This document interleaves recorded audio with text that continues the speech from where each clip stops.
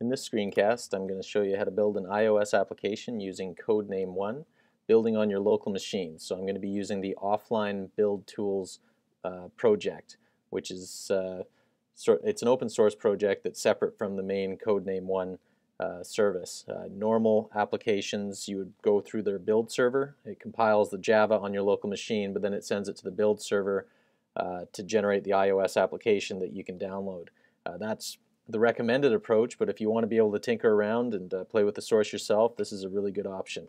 So the first thing I'm going to do is check out the uh, uh, offline build tools project from SVN. This is the uh, SVN repository URL.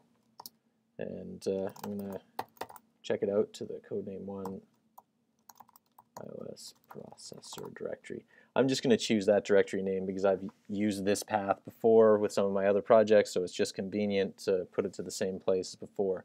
You can save it in whatever folder name you like. And so this is just going to check out the uh, offline build tools project. And there we go. CD into that directory.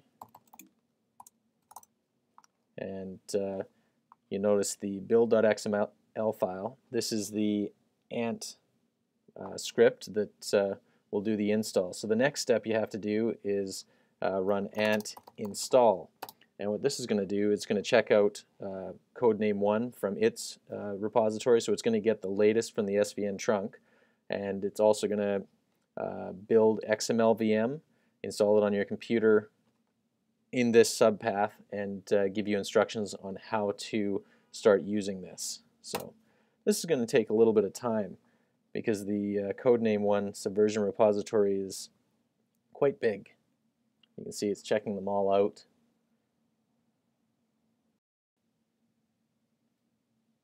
Okay, looks like it's finished installing. So the last thing, if everything was successful, we'll say build successful here, and it'll give you some instructions on what you need to add to your build file.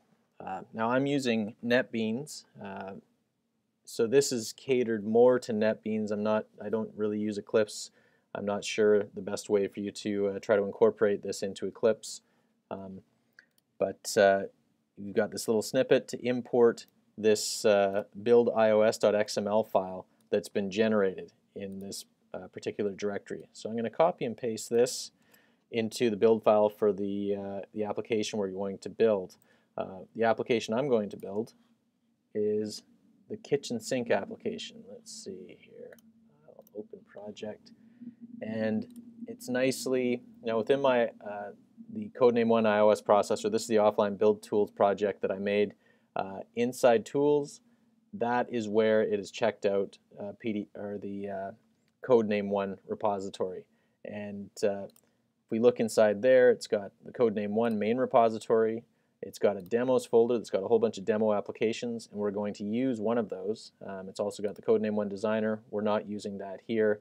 Uh, it's got all the ports. Uh, so for Android and iOS, these are great uh, for you to go through the, the source code of that to see how exactly it works. Uh, but for now, let's just go into the demos, and I'm going to open the kitchen sink demo. And here it is. Uh, the kitchen sink is just a demo application that they've made that uh, highlights a lot of the features of Codename One so you can just play with them all in one app. It also serves as a, a good testing ground uh, to make sure that uh, the offline build tool is working. Uh, so in order to be able to access the build file for a project, I need to be in not the projects tab, but the files tab. So clicking on files here, where's my kitchen sink? There it is. And the build.xml file. Here we go. And I'll just go to the bottom and I'm going to paste in that little snippet so that I'm importing these extra targets that I want. I'm going to save this file. Now if I right click on build.xml, I can go to run target, go down to other targets, and up at the top here, it's going to have a few. It'll have build for Android device locally, build for iOS device locally, and build for Java SE locally. And those are the, the tasks that have been added because of this offline builds pro uh, project. Uh, so right now we're going to do build for iOS device locally.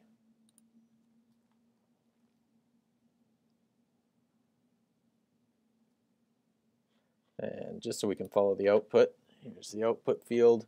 It's going to do a whole bunch of uh, things here. If it fails, it'll give you an error saying build failed. Um, now these little things, note, failed to access this and that, those are just warnings and uh, they actually don't, they aren't negative at all. Uh, there's a preprocessor that goes through uh, looking for uh, native stubs uh, to generate them and when it finds a class that doesn't have a native stub it just gives that note uh, couldn't uh, couldn't find that uh, so let's go through at this point it's uh, using a combination of uh, JAVAC and XML VM and a couple of scripts in order to compile the Java source convert it to C code and it's going to generate an Xcode project that we're going to open up once it's an Xcode project, then you're actually working with it just like it's a normal uh, iPhone application. Uh, you can modify the C, not recommended that you do, but you can look through it and uh, you can build it. You can run it on the simulator uh, if we uh, make a couple modifications. In fact, right now I am going to uh, be building it for the simulator just because I don't have a certificate installed on my computer right now for building a profile for building to a device. Okay, so you can see here it, uh, the build was successful and it has opened up in the background Xcode with my project here. It's indexing some pages. Now if I look at the kitchen sink under the application folder, it's got all of these uh, C files that it's generated. And this is all XML VM's doing. It's uh, translated every single class into a different C file with a header and a, uh, a, a main file. And uh, don't worry about the size of this. Uh, when it compiles it, it's going to optimize it, and anything that's not used, it's just going to strip it out. So it, uh, it'll trim it down quite a bit. Um, so let's, uh, let's build it and see what happens. Uh, right now I've got it set to build for iPhone 6.1 simulator. And you're going to notice it's going to, we're going to hit a couple of errors here, and I'm going to show you how to get through them.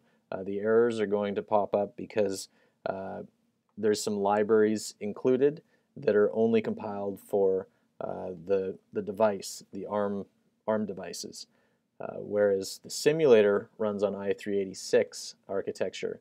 So uh, it's going to reject at the linking phase and actually before that in a couple cases. I'll, I'll show you how to walk through that. So you can see there's 2,000 source files. This is all the uh, the C files that have been generated because it's not just generating source files for the kitchen sink application, it's generating source files for all of the Java SE uh, that is included with XMLVM's uh, Harmony uh, implementation of Java. So we'll sit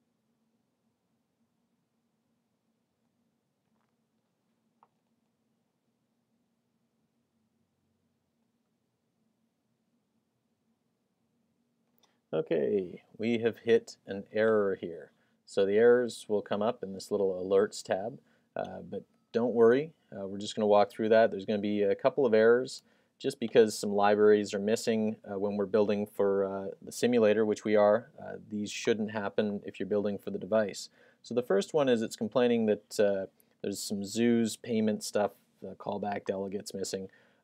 you notice that when I clicked on this first one here, we've got a nice opportunity to just not define include Zooz here. So I'm just going to change this include Zooz to not include Zooz. You can change that to anything and uh, throughout there's uh, uh, directives for the compiler to just forget about all the stuff that has to do with Zooz. So save that and uh, try to compile again. Notice that now we're starting with just 61. It doesn't have to compile from the beginning. It's just uh, continue on from where, where it left and we've got another error uh, in the uh, alerts tab. So it's a linker error. And this is happening uh, because it's trying to find uh, the libzbar, uh, which is used for scan, for I guess scanning barcodes with the camera. And you can see with the error here, it's the scan code impl, impl class is trying to use it. So let's click on this little folder here. So we're looking at the files, and let's just look for that that file, scan code, there we go, scan code imp.m. And we're not going to be using uh, a camera. We don't really have that functionality on the simulator anyways, so uh, I'm just going to comment that entire thing out, hit build again, and you can see it failed. I'm going to click again and see what the error is. Linker error. It's to do with ZBar again. This time it says it's in iosnative.o. So let's look for the iOS native file. And there it is. We'll open it up. We'll search for ZBar. And there it is. Let's just comment out this function.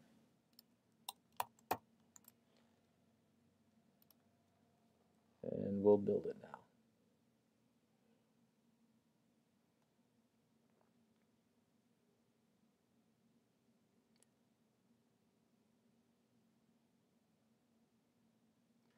Okay, the build succeeded.